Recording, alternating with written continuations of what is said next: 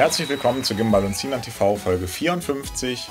Heute mit einem sehr ausgiebigen Thema mit vielen Unterthemen, die aber schließlich doch zu einem, hoffentlich einem Ergebnis führen. Was man nachvollziehen kann. Ja, Sinan, was hat es denn damit auf sich? Ja, wir, wir gehen schon wieder das Thema an. Wir hatten ja schon mal die Sendung DJ versus DJ, dass es da ja eben verschiedene Bezeichnungen geht, äh, gibt. Ne?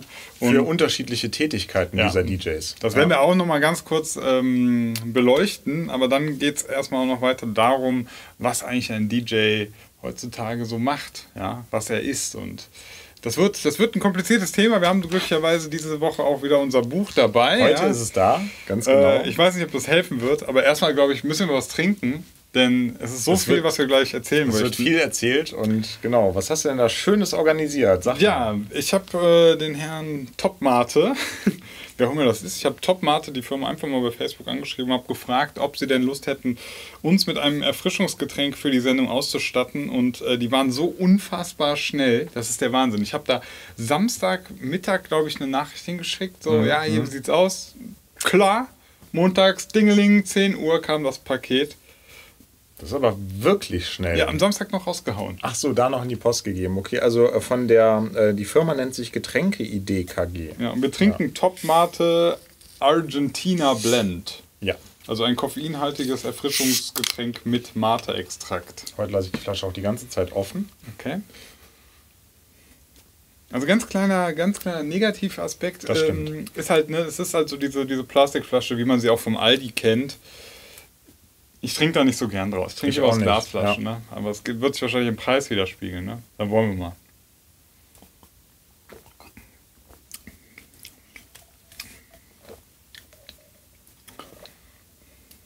Mate ist echt dieses Schwarztee-mäßige, ne? Ich kenne das sonst irgendwie nicht. Mhm. Hat aber noch, hat stark dieses Bittere noch drin. Nee, Mate war der, der mir von dem Cherry Tea nicht so gut geschmeckt hat, weißt du noch? Ja, ja, das ist. Ich habe ja noch gesagt, Club Mate kenne ich ja, das finde das ich ja ist- lecker. das Und das hier schafft es irgendwie, da die Mitte zu bilden. Also ich das hat find- ich dieses Herbe von genau. dem Cherry Tea Mate. Hat ihr dieses Rauchige, Das ne? Rauchige wieder Ich finde das, ja. ich find das ganz geil, dieses Rauchige. Und sie haben es hier aber wohl ein bisschen weggezuckert oder mit anderen, wie sie geschrieben haben, anderen Zutaten doch noch Also ein ich bisschen, nicht- bisschen milder gemacht. Ich finde es nicht ganz so gut wie Charity. Also Charity hatte mich wirklich völlig umgehauen. Okay. Ähm, aber ansonsten, ich finde es auch ganz in Ordnung. Hat eben äh, 5 Gramm Zucker auf 100 Milliliter. Das ist ungefähr so die Hälfte an Zucker, die jetzt zum Beispiel Cola hat. Und dementsprechend ist es auch nicht so süß. Ich muss ehrlich sagen, ich brauche es nicht nochmal. Ja, das, ist, das ist dieses herbere, äh, Teeartige. Das, ich glaub, Da das- hat ja auch Charity bei mir schon versagt. Genau, genau. Da muss man irgendwie, da muss man drauf stehen. Ja, ja. Der eine heute. Ja, das Thema, das äh, beschäftigt uns schon eine Weile. Ich habe ja letztens auch einen, einen Artikel bei Dance Charts darüber äh, verfasst. Und ähm, um die Leute erstmal einzuleiten, möchten wir nochmal kurz darauf eingehen, dass wir ganz strikt trennen zwischen DJs und DJs. Ja? Das möchten wir nur mal ganz kurz erklären. Also für uns ist es, gibt es einmal eben diesen DJ, wie man ihn aus der Diskothek kennt. Ja, das ist der ganz normale Dienstleister. Wir haben da auch jetzt eine lustige Definition gefunden. Man kann DJ in diesem speziellen Fall als Abkürzung verstehen als Dienstleister Jukebox. ja, der DJ, der einfach eben das erfüllt, was das Publikum möchte. Ja, der, der Wünsche erfüllt. Genau, er das. ist in diesem Sinne einfach nur ein Dienstleister, so wie es ein Postbote ist, wie es ein Müllmann ist, der einfach ähm, einen respektablen Job erfüllt und ähm, ja, das so macht. Aber das hat mit dem, was wir jetzt weiter in Zukunft und auch jetzt im Thema mit dem Thema, also mit dem Wort, Wort, DJ ja. beschreiben, nichts zu tun. Also diesen Art von Job und DJ, das meinen wir nicht. Ja, das ist einfach, das ist so der ganz normale Dienstleister. Wir beschäftigen uns jetzt wirklich mit dem Thema ein DJ im Sinne eines Künstlers, eines äh, Menschen, der sich, der seine eigene Musikphilosophie, ja, seinem Publikum zeigen möchte. So. Und da habe ich bei Facebook jetzt wieder eine Diskussion breit äh, oder die ist dann losgetreten. losgetreten. Ähm, da ging es darum, dass aktuell die DJs, also wir haben ja jetzt auch dieses Ding hier, ne, das, DJing an sich, es wird immer einfacher, ja, also man braucht eigentlich nur noch so einen Controller, einen Laptop und ähm, ich würde mal behaupten, ich kann so fast jedem innerhalb von 10 Minuten beibringen, äh, wie man mixt, ja, wie man Tracks ineinander mixt, so. Also im Laptop ist ja dann eine entsprechende Software, und die macht es eben, äh, ja, möglich. Ja, die übernimmt halt sehr, sehr viele Aufgaben. Ganz genau, von diesen ursprünglichen äh, Fertigkeiten und Fähigkeiten, die ja ein DJ in den 90er Jahren zum Beispiel noch äh, genau, am, Platten, am, Plattenspieler noch mitbringen musste. Ja, früher ja. musste man halt die äh, verschiedenen Tracks eben auf die gleiche Geschwindigkeit pitchen mit dem Pitchregler. Dafür hatte man den Kopfhörer, da lief dann immer das eine Lied, was das äh, Publikum noch nicht gehört hatte. Und das brachte man dann auf die Geschwindigkeit. Musste man genau aktuellen. die richtige Stelle auch finden. So, und da ist wirklich, kann man euch, um das mal abzukürzen, sagen, alles einfacher geworden. Der ja. schon oft erwähnte von uns Sync-Button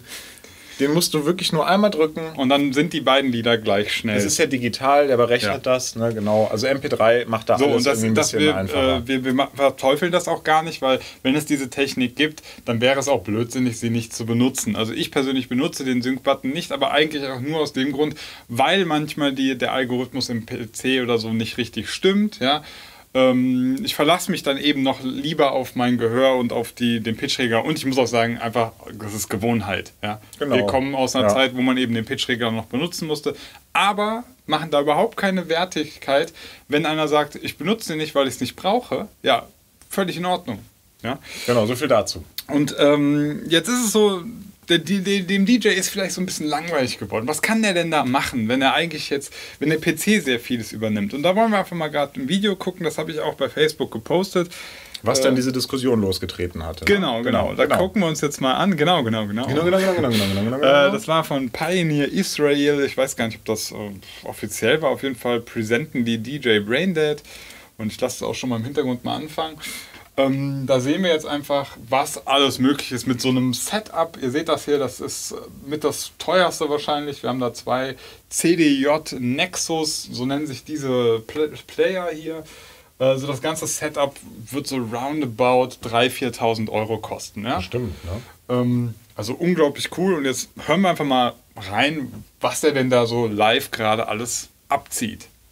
Rising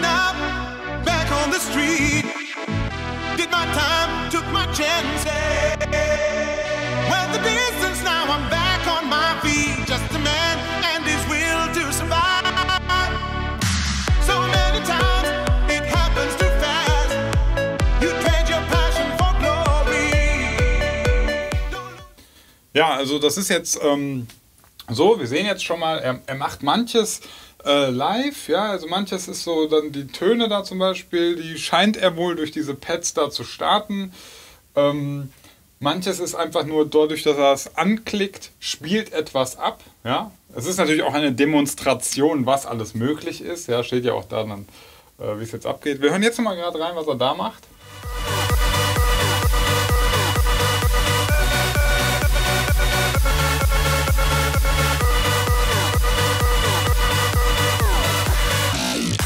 Da zum Beispiel auch ganz interessant zu sehen, äh, da hat er die, die Tonhöhe von diesem Vocal, was da so, da, da, da, da, das Vocal hat er die Tonhöhe eben mit dem Pitchregler. Also das ist für mich, ja, als jemand, der sich schon sehr gut damit auskennt, eben gerade noch so nachvollziehbar. Ähm, ich glaube, für viele ist aber nicht wirklich nachvollziehbar, was er da eigentlich macht. Ja? Und man muss ja auch sagen, in dem Moment, wo er eben Knöpfchen drückt, ähm, man weiß es ja auch nicht. Ja? Diese Knöpfchen, die er drückt, das ist frei belegbar. Also ähm, das kann jetzt alles einzeln gespielt sein, aber das kann auch sein, dass er einen Knopf drückt und da kommt schon so ein fertiges ähm, Fragment des Songs, das wird einfach abgespielt. Ähm, das ist unglaublich toll, ja, beeindruckend. Das ist eine beeindruckende DJ-Performance.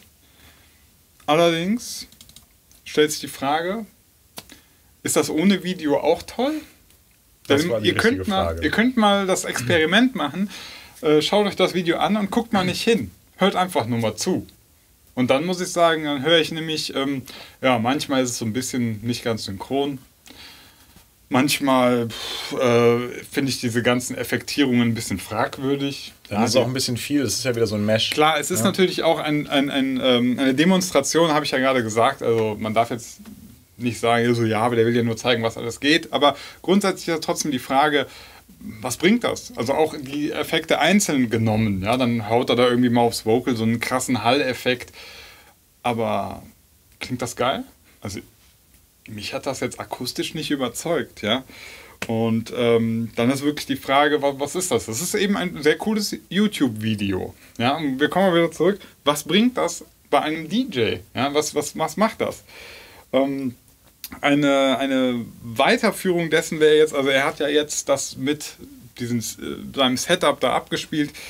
Noch krasseres Knöpfchen drücken und noch krassere Optik wäre jetzt zum Beispiel der Neff ich weiß gar nicht, wie der ganz heißt, der, der hat mit seinem Launchpad, ja, hat der den Song Skrillex First of the Year nachgespielt.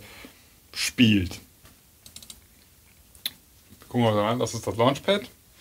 Und da werden jetzt immer so, spielt, spackt ein bisschen ab, äh, immer da, da, auf jedem Knöpfchen im Prinzip sind so kleine Fragmente. Also er hat den Originalsong auseinandergeschnibbelt und den dann auf seine Knöpfchen gelegt. Und dann spielt er den quasi nach.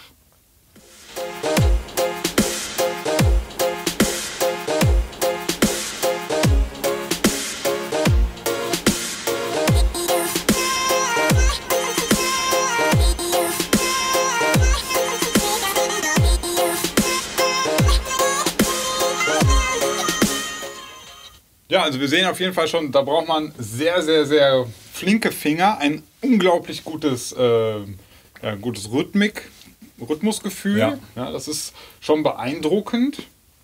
Und äh, wenn es dann auch zum Drop geht, irgendwann gleich.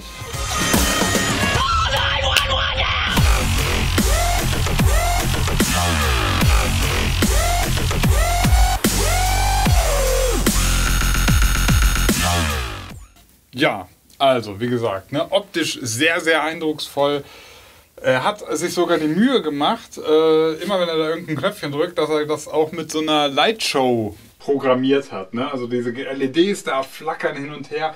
Aber auch hier, also es ist nicht so ganz nachvollziehbar, was er da eigentlich macht. Wie viel ist jetzt davon live performt? Also ich will das gar nicht schmälern. Das ist unglaublich äh, krass von den Fingern her. Ja, es ist Wahnsinn, aber jetzt ist was, was kommt halt dabei rum? Es kommt halt ein schönes YouTube-Video bei rum. Genau, also es, ist einfach eine schöne Demonstration und er hat sich da, also fährt da glaube ich auch ganz gute Klicks mit bei YouTube. Ja, über eine Million Mal auch. So, also für, für YouTube ähm, war das schon mal nicht schlecht, das jetzt zu machen, aber das jetzt mal wieder auf den Dancefloor genommen genau, und also auf den DJ-Einsatz. Du musst ja überlegen ja. jetzt, der Song klingt, wenn er es richtig perfekt macht, klingt der so wie das Original von Skrillex, The First. Äh, ja, Equinox, ne? Equinox, genau. Year, ja. So, und dann stelle ich mir natürlich die Frage, wenn es im perfekten Fall so klingt wie das Original, ja, dann würde ich auch das Original abspielen. Ja, ne? wofür die ganze Arbeit? Ja. Es ist ne? beeindruckend, wie man sich mit viel, viel Mühe das machen kann, was man auch einfach hinkriegt, aber das ist halt die ja, Frage. Was, darum was, geht's, genau. Es ist einfach, ne, warum das Original nicht einfach. Äh und gerade auf dem Dancefloor, ne, was, was das ist halt irgendwie, dann kann man das da machen.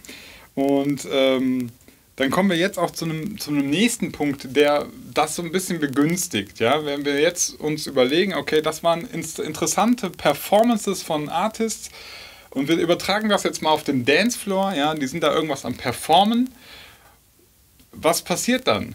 Was begünstigt das? Ja, im Grunde begünstigt das, dass man hinguckt. Man guckt nämlich hin, weil da passiert was. Der ist da irgendwie am Schrauben, am Finger oder irgendwas. Und am Fingern ist er Am Fingern ist genau, er, seine, seine Boards und Knöpfe da. Und im schlimmsten Fall, ja, endet das dann wie im folgenden Video. Da sehen wir einen Auftritt von Deadmaus. Wir sehen es schon hier, ganz viele Leute können es unglaublich können es einfach nicht fassen, dass sie da sind und müssen das mit ihrem Handy natürlich dokumentieren. Und ähm, Deadmaus macht da seine Performance. Ja. Der man wohlgemerkt nicht zugucken kann. Du kannst ihm nicht auf die Finger gucken. Nee, nee, aber, da, aber er hat ja einen lustigen Mauskopf auf. Ja, also da, da, kann man, da kann man schon stundenlang hingucken. Stimmt, ja. Und jetzt wollen wir euch einfach mal mit dem massiven Drop alleine lassen und gucken, wie die Crowd reagiert.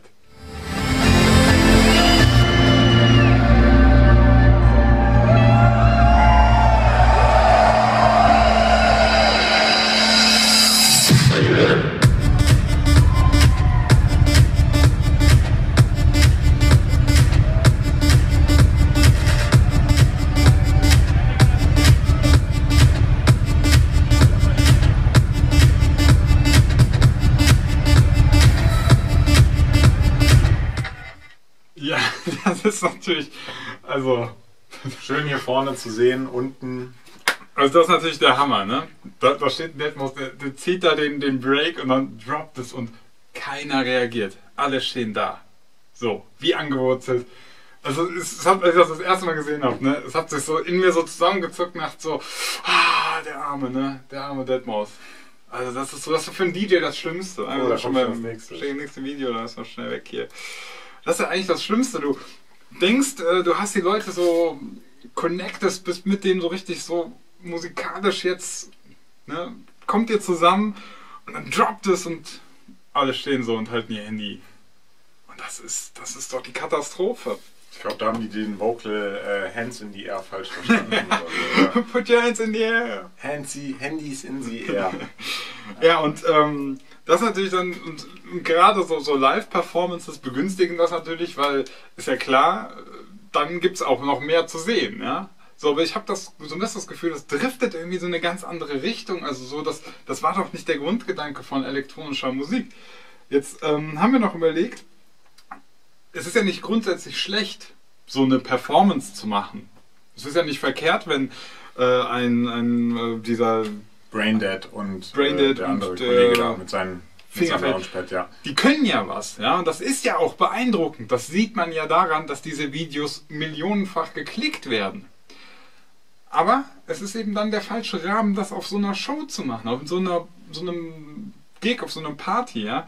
Und Die brauchen, die brauchen eine andere Umgebung. Äh, ja. Und da haben wir uns überlegt, der Birdie Man ist uns da eingefallen, ja. Der Birdie Man, wir sehen das hier, da haben wir eben schon reingeklickt. Ähm, der ist ja ein sehr guter Beatboxer.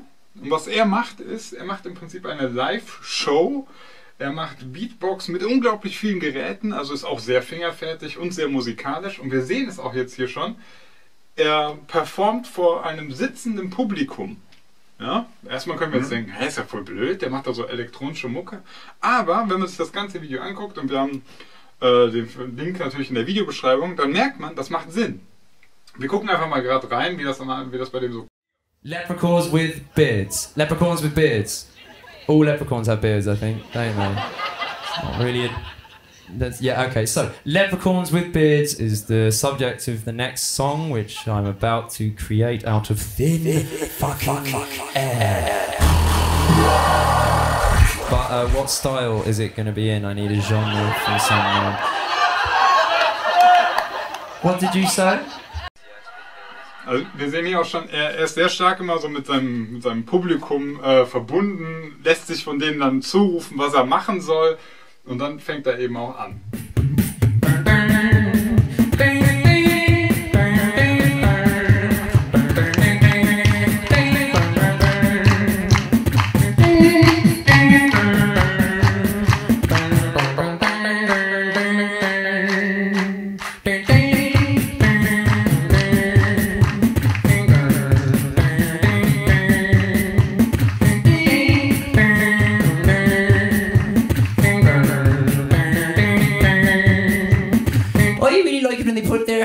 Air. That's right, I'm talking about the crowd over there. Oh, you like it when they listen to drum and bass. Oh, you like it when they make a bass. Let me tell you what, I have a beard. Let me tell you what, that shit's. But Ja, und ähm, da sieht man halt, das ist ein bestimmtes Talent, da gibt es was zu sehen, er performt da was und er macht das eben vor einem sitzenden Publikum und ähm, dann können die auch ihre Handys, könnten die da hinhalten und könnten das aufnehmen, kann man auch lassen, aber das ist irgendwie, das verstehe ich mehr. Also da könnte ich mir unter so einem ähm, Rahmen ne, oder vor so einem Rahmen. Jetzt geh doch mal rein gerade. Okay.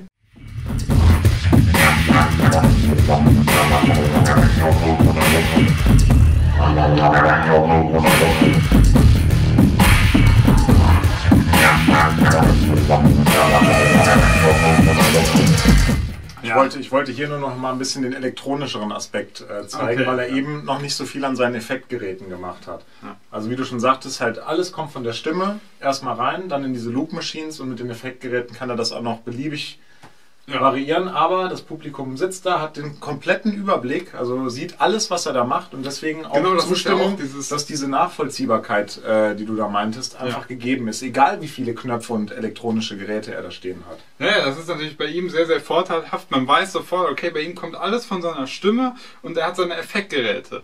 Ne, das ist bei ihm also sehr, sehr cool. Man hat auch diese Aufsicht, also das heißt, das Publikum sitzt in ähm, ja, so einem klassischen Theater mäßig oder Höher als der Künstler. äh, ja, und kann halt sehen, was er da so macht.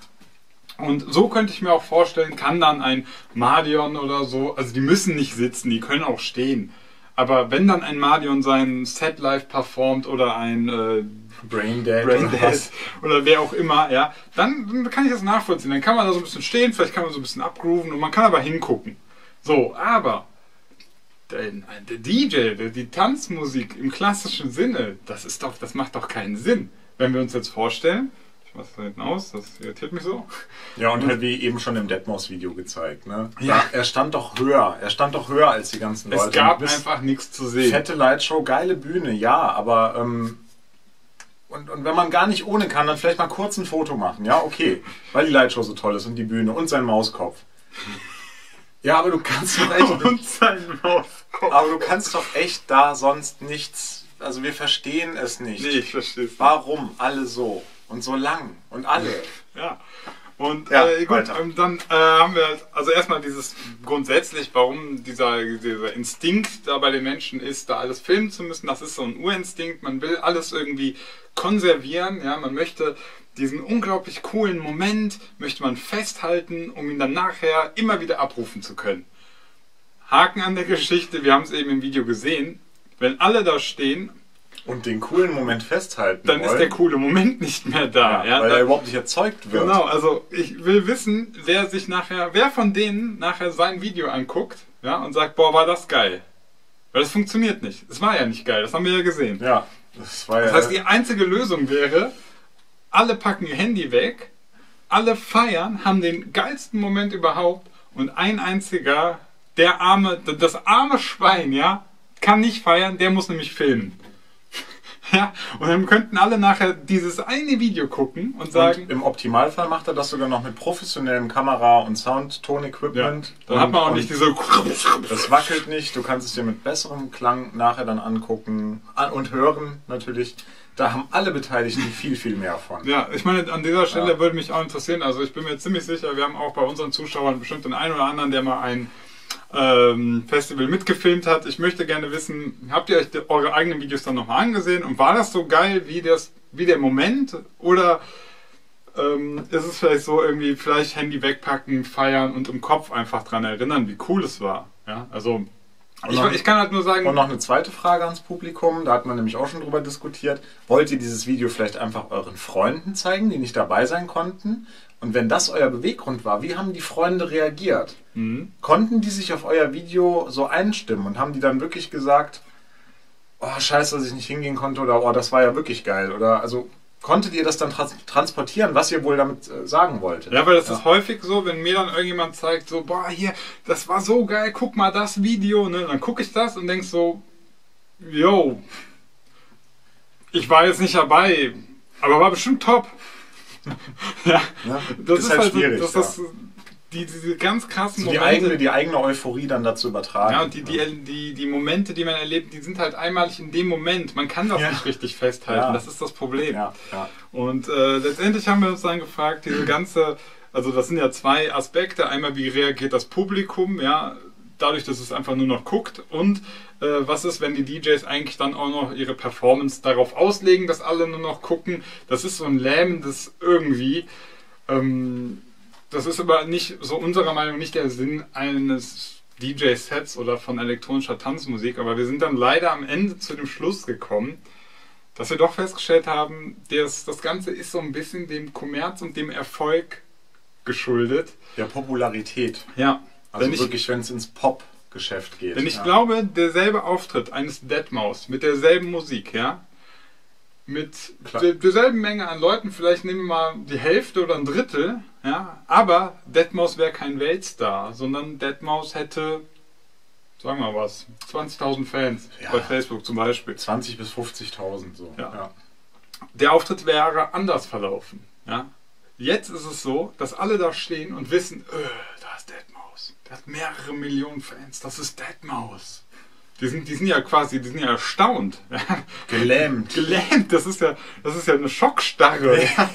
Das ist ja schlimm. Ich kann mich erinnern, dass wir bei unseren Auftritten, bei den größeren, die wir hatten, wo wir vor ungefähr 500 bis 2000 Leuten gestanden, gestanden haben, ähm, wir sind nicht so populär, dass man uns filmen müsste. Unabhängig davon, dass man uns einmal die Woche bei YouTube sehen kann.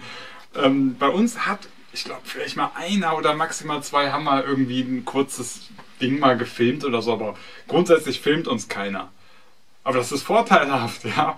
Weil alle, die uns nicht Ja, verstehen. das soll auch bitte so bleiben. Ja, genau, bei uns Ja. gibt es nichts zu sehen. Wie du schon sagtest, unsere Fressen könnt ihr euch hier, wöchentlich auf diesem Kanal angucken. Genau, Ja, weiter und, und das war halt unglaublich, äh, ist, wir haben das mal so verglichen eben, so Auftritte von uns, ne, mit dann eben so einem Deadmaus. Äh, und das ist ja eigentlich krank, dass, dass dann die Stimmung bei so einem Deadmaus schlechter ist als bei uns. Oder allgemein bei un, äh, unbekannteren Acts. Also, Mal, ne? mal unabhängig jetzt von direkten Personen. Du hast ja auch gesagt, Genau. anderes Beispiel, Nature One, äh, mal weg vom Open Air Floor, hoch in irgendein kleines Hauszelt oder sowas. Ja, wo man äh, den DJ jetzt, DJ XY nicht kennt, Ja. da würdet ihr nicht hingehen und sagen, boah, den muss ich filmen. Und was ist da aber meistens das andere Phänomen? Da geht's richtig ab in den kleinen Zelten. Da reißen die noch die Hütte ab, da Ja. wird gefeiert auf diese eher dann auch, ja, meistens dann eben unbekannteren Beats. Ja. Und deswegen. Und da dann wirklich die Erkenntnis, offensichtlich doch eine, eine begründete, ähm, na, hilf mir weiter, dieser, Mhm. diese Brücke oder das eben, was dazwischen steht, zwischen dem Underground und dem, dem Kommerz. Ja, dem, das- das- dem kommerzielleren das elektronischen lässt sich Sound. nicht richtig gut vereinbaren. ja, Ja, also der Grundgedanke von elektronischer Musik, von Tanzen, von diesem Gefühl, feiern. Feiern, ja, und, und einer Popularität einer einzigen Person, ja, dieses Star-Sein, das lässt sich schlecht verbinden. Also ihr könnt uns gerne mal ein Beispiel zeigen, das würde mich interessieren, wo so ein Super-Act einfach mal seine Show gespielt hat und alle Ja. waren nur am Dancen und keiner hat jetzt Keine Kameras. Genau. Ist natürlich Ja. schwierig, davon Aufnahmen zu finden, aber Nee, so eine, ja, das ist es ja. Wir haben auch gesagt, hier Aftermovies gibt es doch von Ja. Tomorrowland und World und, und ach, Festival X und Y macht doch mittlerweile Aftermovies, oder nicht? ja, obwohl ich auch also, Professionell, Klar, genau. professionell Aber ich glaube, das, das gibt's halt Filme. nicht. Wir haben uns eben ja auch Aftermovies von Tomorrowland angeschaut und ich muss ganz ehrlich sagen, Tomorrowland reizt mich gar nicht. Überhaupt nicht. Ja? Weil das ist genau dieses Phänomen. Du hast dann nur die Superstar-DJs, Mhm. die ganze Crowd steht da unten, gafft nach vorne und dann hast du noch so ein paar, die machen halt so, ja. So, aber das ist für mich nicht, das ist für mich nicht der Gedanke von elektronischer Tanzmusik. Mhm. Die Mucke ist teilweise vielleicht geil, ja. Die DJs, ich, ich feier, würde die feiern ohne Ende, wenn da, weiß ich nicht, ein Feed Me oder ein Mord Fußball auflegen. Aber wenn der Rest einfach nur dahin gafft, ja. War leider eine, eine etwas ernüchternde und traurige Erkenntnis. Äh, könnt ihr mal sagen, wie ihr das seht? Ne? Was sind so eure Erfahrungen, wenn ihr dann auf bei einem Act wart, der eben mega Fame war? Habt ihr es auch so gemerkt, dass dann eher so eine lähmende Stimmung herrscht, weil er einfach zu krass ist? Ähm, das war eigentlich so unsere Erfahrung. Und ähm, Ja, oder aus welchem wie kann man das überhaupt, kann man Ja. da, kommt man aus diesem Teufelskreis raus? Ich glaube nicht. Und aus welchen Beweggründen geht ihr feiern? Also gehört ihr auch zu der Kategorie, der ist bekannt, den muss ich sehen. Und Sehen? Da auch, genau, wörtlich. Ja. Oder seid ihr so musikverbunden, äh, dass ihr euch eben, wie gesagt, im Vorfeld sehr ähm, ja, mit diesem Artist, den ihr euch dann anguckt, beschäftigt habt und dann auch wirklich bei ihm feiert, tanzt und das Handy in der Hose irgendwo stecken lasst. Ja. Sagt's mal, schreibt's mal in die Kommentare. Ja, also wieder eine sehr, sehr lange Folge von uns jetzt, ähm, aber auch ein sehr aufwühlendes, bewegendes Thema. Mit, wie gesagt, vielen Unterthemen. Das war ganz Ja. schwierig, das überhaupt hier schon. Wir Ähm, haben, wir haben lange da gesessen, bis wir dann endlich zu dem Schluss kamen, äh, der Kommerz, das, das, das Populäre ist das Problem. ja, irgendwie schon. Ja. Wir machen unsere Erkenntnisse immer sehr spät. Also in diesem Sinne, ich hoffe, die Sendung war trotzdem interessant für euch. Ansonsten würde ich sagen, probiert es einfach nächste Woche wieder. ja?